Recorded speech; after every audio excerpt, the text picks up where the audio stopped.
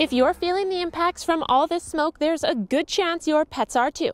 A local veterinarian says Okanagan residents should avoid bringing their pets on outdoor excursions at least until this thick smoke passes through. I see increased number of dogs and cats that they are coughing.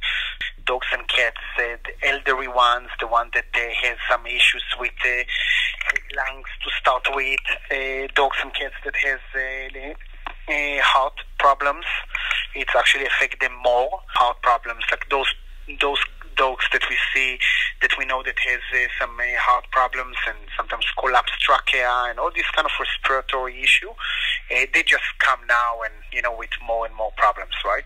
So I wouldn't go hiking and camping and you know like to do too much with the dogs outside, no running too much. You know, just uh, let's uh, keep it to the minimum and to the basics that they need. If your pet is experiencing a persistent cough or other seemingly odd symptoms, it's a good idea to get it checked out at your local veterinarian. For Castanet News, I'm Chantal Deacon in Vernon.